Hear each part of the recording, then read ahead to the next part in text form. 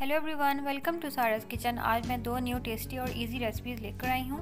Restaurant style crispy vegetable pakoras और तड़के वाली दही फुल्कियाँ। सबसे पहले हम restaurant style crispy vegetable pakora बनाना स्टार्ट करते हैं। उसके लिए आलू को छील के इस तरह से ग्रेट कर लेना है। पतला और लंबा करके बिल्कुल ग्रेट करना है इसको। उसके बाद एक प्याज लेना है, उसको भी छील के इसी तरह से ग्रेट कर लेना है।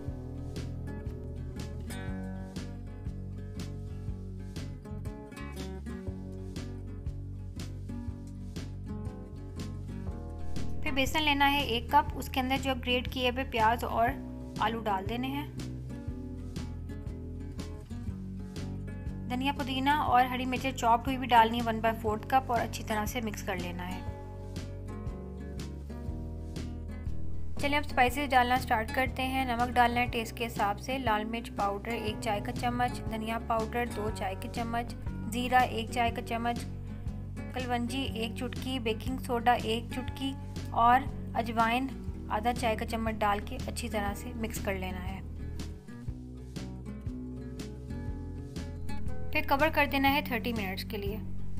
फिर थर्टी मिनट्स के बाद आप देखेंगे कि प्याज और आलू अपना पानी छोड़ देंगे। तो आपने पानी थोड़ा ऐड करना है। वन बाय फोर्थ कप या जितनी रिक्वायरमेंट है उतना पानी ऐड करके अच्छी तरह से मिक्स कर लेना है।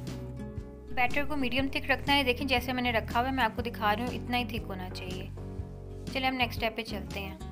फिर कढ़ाई को मीडियम फ्लेम पर रखना है और उसमें पकौड़ों को डीप फ्राई करना है। बैटर को थोड़ा थोड़ा करके गैप के साथ डालना है।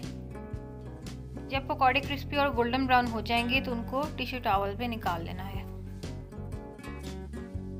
बहुत ही tasty restaurant style crispy vegetable pakoras ready हो गए हैं तो चलें अब हम नेक्स्ट रेसिपी पे चलते हैं। तड़के वाली दही फुल्कियाँ बनाने के लिए फुल्कियाँ लेनी है एक कप उनको गर्म पानी में सोक कर देना है थर्टी मिनट्स के लिए। आप चाहें तो घर पे बना लें या रेडीमेड ले लें।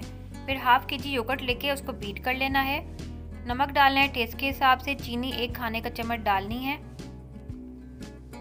फिर चॉप वेजिटेबल्स ऐड करनी है। उसमें एक छोटा प्याज, एक छोटा टमाटर, धनिया पुदीना, हरी मिर्चें वन बाय फोर्थ कप डाल के मिक्स कर लेना है।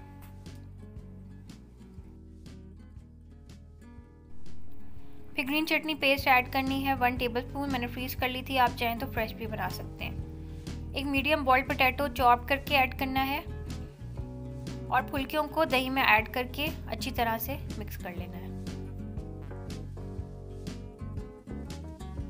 चले अब नेक्स्ट स्टेप पे चलते हैं। फ्राइंग पैन को लो फ्लेम पे रखना है, उसमें दो खाने के चम्मच ऑयल डालने हैं। आधा चाय का चम्मच लहसुन अदरक का पेस्ट डाल के हल्का सा फ्राई कर लेना है। फिर ज़ीरा डालना है एक चाय का चम्मच।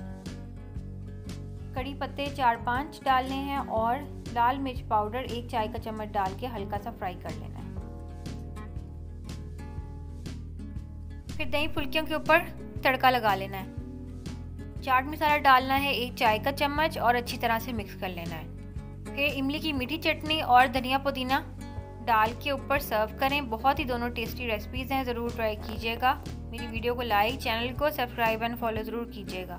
Thank you for watching